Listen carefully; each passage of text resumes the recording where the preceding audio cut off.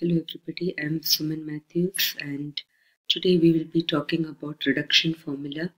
This is useful in engineering mathematics.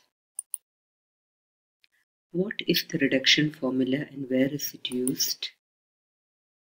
The reduction formula is used to integrate higher powers of sine, cosine and the product of these functions. In this presentation we learn how to derive the reduction formula for sine raised to mx cos raised to nx and sine raised to mx cos raised to nx and problems based on these. Using these videos gives you an overview of engineering mathematics and undergraduate maths. And for more videos on engineering maths, subscribe to my channel or visit my page. Uh, coming to the first formula, we derive integral sine raised to nx dx let in equal to integral sine raised to nx dx. So we can write it as integral sine raised to n minus 1x into sine x dx. That is u into v where so we use integration by parts. Integral uv is u integral v minus integral of derivative of u into integral v. So this will be sine raised to nx. Integral of sine x is into integral sine x into derivative of sine raised to nx that is n raised to n, min n minus 1 sine raised to n minus 2x derivative of sine x is cos x and uh, then you have integral of sine x is minus cos x so the minus will give you a plus here. So this is minus sine raised to n minus 1x cos x integral of sine is cos plus n minus 1 integral sine raised to n minus 2x cos squared x dx that is minus sine raised to n minus 1x cos x plus n minus 1. This cos squared x I can write as 1 minus sine squared x dx.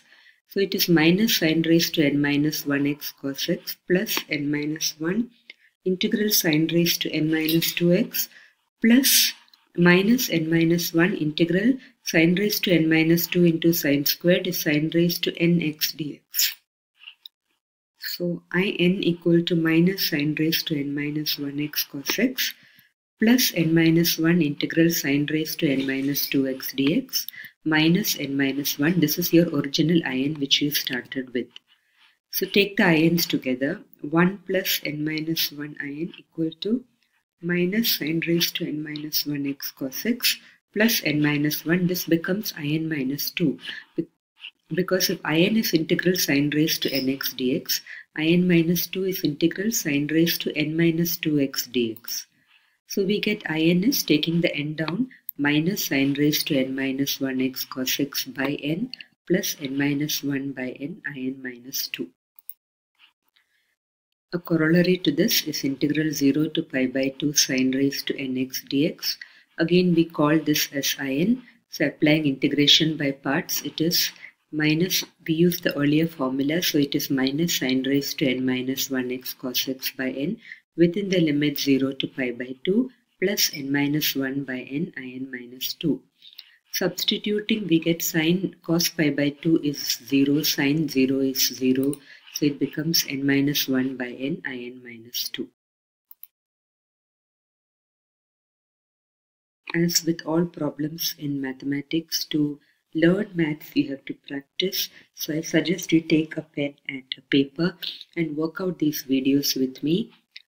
Practice makes you perfect and that is the only way you can learn mathematics. Coming to the next question integral sine raised to 5 x by 2 dx. Put x by 2 as u. So x equal to 2u when x is 0 u is 0 when x is pi u is pi by 2 and dx becomes 2 du so this becomes integral 0 to pi by 2 sine raised to 5u. The 2 comes here du.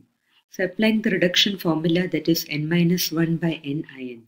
So it is 2 into 4 by 5 integral 0 to pi by 2 sine cube du du equal to 2 into 4 by 5 into 2 by 3 integral 0 to pi by 2 n minus 1 will give you sine u du and that will give you 2 into 4 by 5 into 2 by 3 derivative of sine is minus minus cos u within the limit 0 to pi by 2 that is 16 by 15. Now we come to the reduction formula for integral cos raised to n dx. As usual, we start with let in equal to integral cos raised to nx dx. That is integral cos raised to n minus 1x into cos x dx, which is cos raised to n minus 1x. Integral of cos is sine minus integral derivative of cos raised to n minus 1x is n minus 1 cos raised to n minus 2x into derivative of cos is minus sine so you get a plus here and into integral of cos is sine so it is sine squared x dx Next, we write this sine squared x as 1 minus cos squared x dx and we get this as cos raised to n minus 1x sine x plus n minus 1 integral cos raised to n minus 2x dx minus n minus 1 integral cos raised to nx dx which is your in. So in is cos raised to n minus 1x sin x plus n minus 1 this is in minus 2 minus n minus 1 in. Take the terms in in together. So I get n in equal to cos raised to n minus 1x sin x plus n minus 1 in minus 2 or in which is integral cos raised to nx dx is cos raised to n minus 1x sin x by n plus n minus 1 by n in minus 2. Coming to question 4, evaluate integral 0 to pi by 2 cos raised to nx dx. Let in equal to integral 0 to pi by 2 cos raised to nx dx so this is again applying the earlier formula. It is cos raised to n minus 1x sin x by n within the limit 0 to pi by 2 plus n minus 1 by n i n minus minus 2. Cos pi by 2 is 0, sin 0 is 0. So in is n minus 1 by n i n minus minus 2. Coming to question 4, this is a reduction formula for integral sine raised to mx cos raised to nx dx, where mn are positive integers.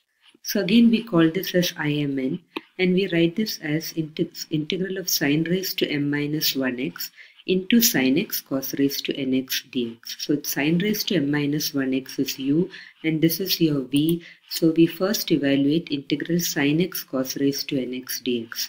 If I were to put cos x as t, we get minus sine x dx as dt. So integral sine x cos raised to nx dx becomes minus t raised to n dt that is minus t raised to n plus 1 by n plus 1 which is minus cos raised to n plus 1x by n plus 1 substituting for t. Now coming back to integral by parts, this becomes sine raised to m minus 1x integral of sine x cos raised to nx dx minus derivative of sine raised to m minus 1x which is m minus 1 sine raised to m minus 2x into derivative of sine is cos and you have a minus here so it becomes plus cos raised to n plus 1x by n plus 1 dx. So this is minus sine raised to m minus 1 again substituting for integral sine x cos raised to nx dx it is cos raised to n plus 1x by n plus 1 plus m minus 1 by n plus 1 integral sine raised to m minus 2x cos raised to n plus 2x dx. So this is minus sine raised to m minus 1x cos raised to n plus 1x by n plus 1. This is plus m minus 1 by n plus 1. You can write cos raised to n plus 2s cos raised to nx into 1 minus sine squared x dx. That would give you minus sine raised to m minus 1x cos raised to n plus 1x by n plus 1 plus m minus 1 by n plus 1 integral sine raised to m minus 2x cos raised to n dx minus m minus 1 by n plus 1 integral sine raised to mx cos raised to nx dx. This is nothing but imn. So we get imn is minus sine raised to m minus 1x cos raised to n plus 1x by n plus 1 plus m minus 1 by n plus 1. This is im minus 2n. And this we have already seen is imn. So taking the IMNs together, we get 1 plus m minus 1 by n plus 1 will be, take out the n plus 1, so it is 1 by n plus 1 minus sine raised to m minus 1x cos raised to n plus 1x plus m minus 1 im minus 2n. So we get imn is minus sine raised to m minus 1x cos raised to n plus 1x by n plus 1 plus m minus 1 by m plus n taking this m plus n down, im minus 2n. This is a reduction formula for imn. Here we notice that the n plus 1 cancels on both sides. As a corollary to this, we have a problem. evaluate integral 0 to pi x sine squared x cos raised to 4x dx.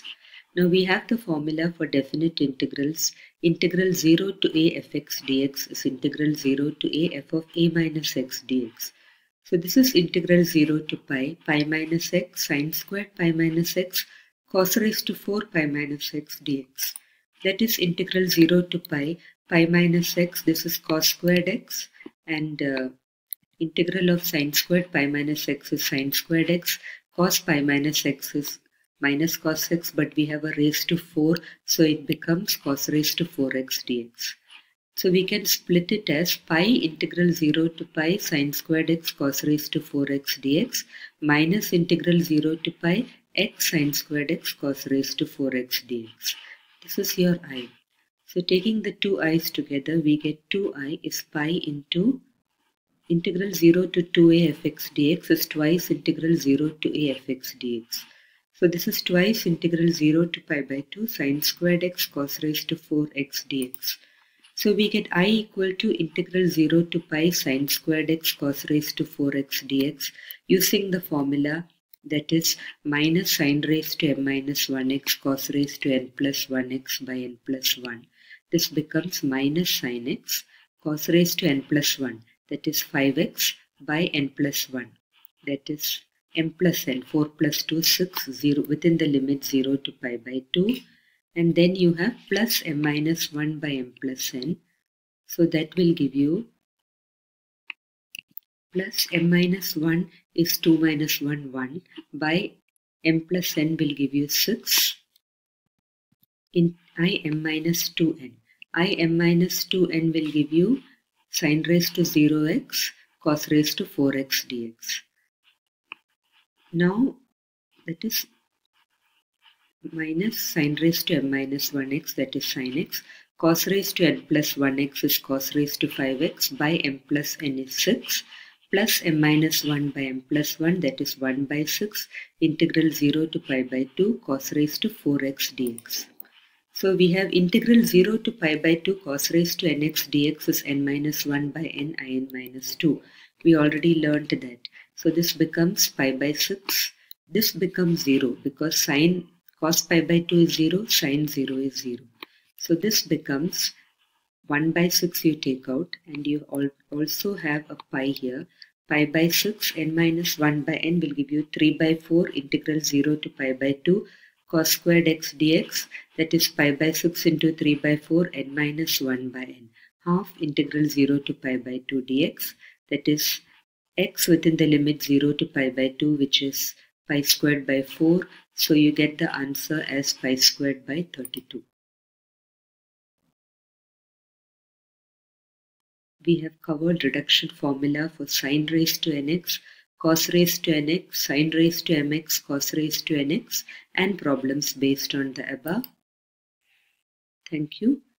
So watch these videos and practice the problems with me and do subscribe to my channel and visit my page for engineering maths